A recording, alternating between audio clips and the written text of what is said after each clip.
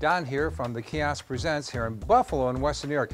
Listen, we got a very interesting author with us. It's Eric Mosley. He's co-founder and CEO of Globoforce, if I said that right, and author of the Crowdsourced Performance Review. Uh, Eric, welcome to the Kiosk Presents here in Buffalo.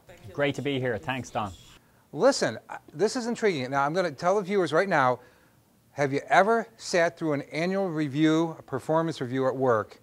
And I have to admit, it's got to be as uncomfortable sometimes for the manager performing the review as the employee being reviewed.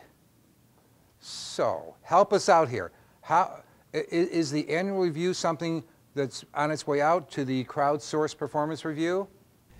Um, well, I think the first thing to say is that the, the annual performance review has many kind of structural problems, real problems with this as a process. You know, the main problem is that it's down to you know, one person's opinion, a single point of failure, that manager who's going to make a judgment about your performance without a lot of memory for the last year because there's such a long period of time since you last had a review. And that judgment is going to stick with you probably for your career, certainly uh, with that company. So it has a lot of problems, infrequent, you know, once a year, and a single point of failure, that manager.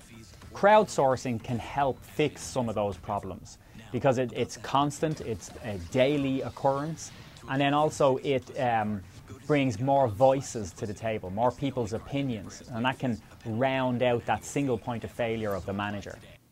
Eric, do you think sometimes the, the management uh, will do in a performance review will strictly bring up the negatives, perhaps, um, to counter the employees' um, contention they deserve more money after the review? I, absolutely. And of course, what you always have to remember is that managers fall everywhere on the performance curve themselves. You know, some are great, great managers, some are very good managers. And then, of course, down at the bottom end, you have some poor managers. And that's why there's a lot of mistrust in the process because what if you have a poor manager? Uh, you could get a bad review, uh, that can affect salary increases and promotion opportunities in the future.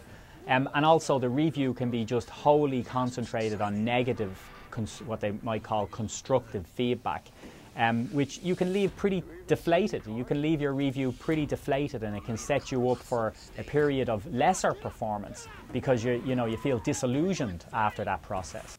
Well, I'm still, I'm still grasping this because it's a, sort of a new concept to me. Uh, well, it's a new concept to a lot of people. That's why they've got to read this great book. But, and I will, uh, but I haven't had a chance to read it yet. But here's the thing. I'm still trying to grasp crowdsourced performance review. How does it work compared to um, that once a year kind of thing? Is it is this something where the employer will sit down and review on a more frequent basis, or how is it exactly done? What, give me an example of a, a crowdsourced review. Well, in general, um, most companies are moving towards um, different processes that are more social, you know, that are more community generated. And one such process would be recognition programs. So recognition programs allow peers to nominate their colleagues whenever they see them do great performance or above and beyond the call of duty type contribution. And so these recognition programs can become very vibrant in a company. They can spread a lot of goodwill, a lot of positivity in the company. And then, of course, you now have a catalogue of what the employees have said is great performance, um, building up data constantly through the year.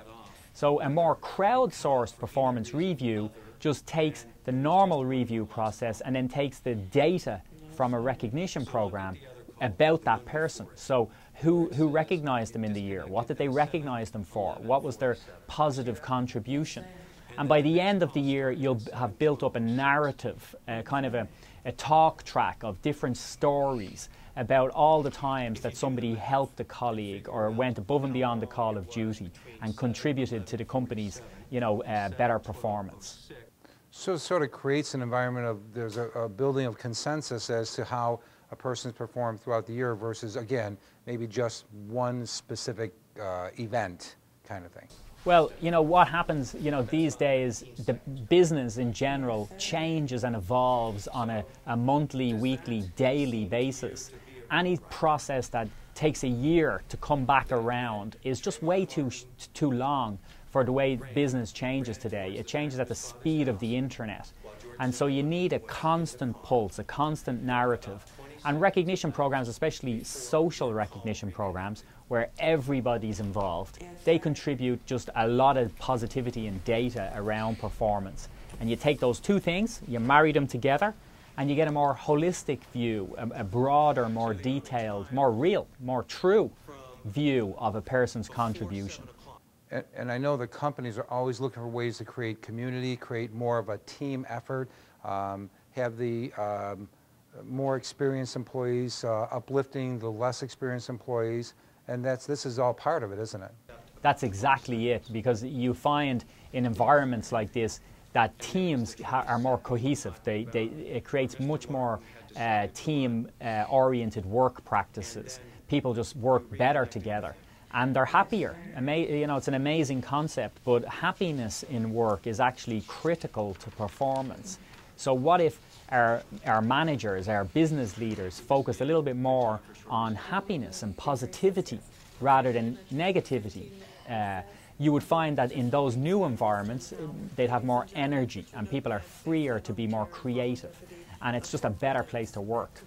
You know, Eric, in this, in this um, challenging job market environment that we find ourselves in the last few years, this sounds like a very good thing for management and employees too.